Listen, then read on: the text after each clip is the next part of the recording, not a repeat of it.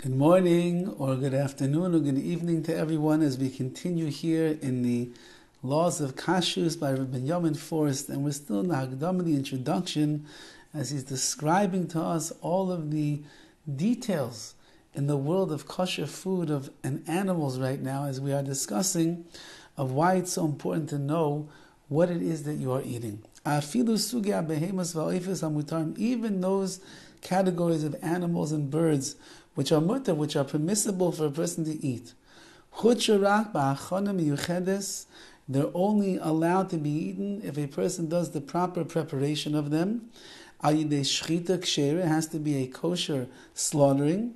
Im with all of the conditions and all the details in halacha, the nuances that are there to make sure that the animal was slaughtered, was killed ritually in the right way.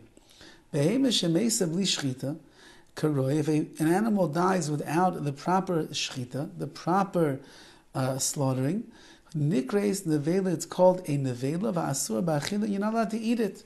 So it would be if it, if it would die in the field, or if it would be slaughtered by a person who's not so uh, skilled in the area of shechita, you'll have the same exact problem, which is why we find that there are different kashrus organizations, there are different uh, houses, as we would call them, they are the slaughterhouses, and they're on different levels, different levels of kashrus, different levels where the, the shochtim themselves are much more skilled in what they are doing, and therefore they have they come with greater credence and they come with greater reliability.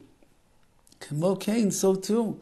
Behema balasmum, panimim, if you have an animal that has some kind of a blemish in its inner uh, its inner limbs, That this particular blemish that it has, for example, in the lung area and the like, if it goes undetected, it will bring about the misa, it brings about the death of that animal in a short amount of time. So therefore, if that is found, nikres treifa, it's called a treifa, va'asura ba'achila, you would not be allowed to eat this animal. And that's what they're doing when they shech the animal. They begin checking inside the lungs and the other parts of the innards of the animal to make sure that there's no moom, there's no blemish that is there. And if there is, the animal is unedible for the Jewish person. You have to know.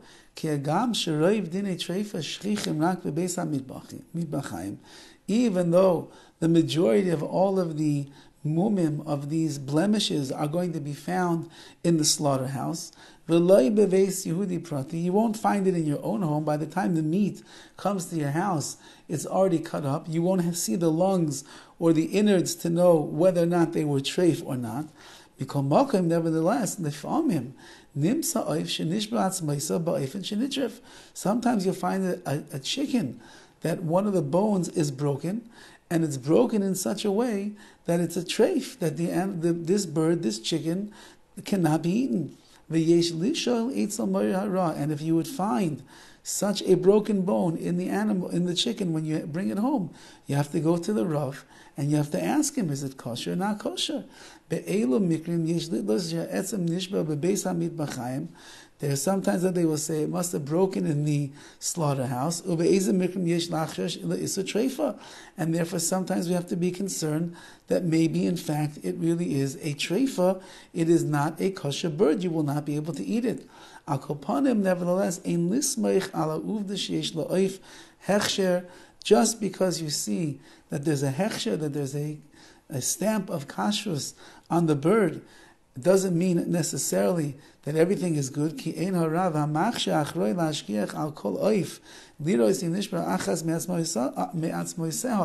The the rav that is in the slaughterhouse of the chickens is not checking every chicken and every single bone that is there. They're checking the general kashrus quality of the chicken, and therefore, if you get home and you see a broken bone in your chicken, you need to go and ask your local Orthodox rabbi if you're allowed to eat it. Now, many times they'll be able to tell you this must be something that happened after the fact. Couldn't be that it happened in the slaughterhouse, and therefore it'll be fine. But if you would find such a thing, again, it's rare that you do, but if you would, so he's saying over here, make sure that you ask a shaila, you have to ask a halachic question to ensure that this food is going to be kosher. Okay, we have a little bit more of the Hakdama of the introduction. We'll conclude with that Be'ezras Hashem tomorrow, and then we will get into the main body of the Sefer on Hilchas Kashrus. Have a wonderful day.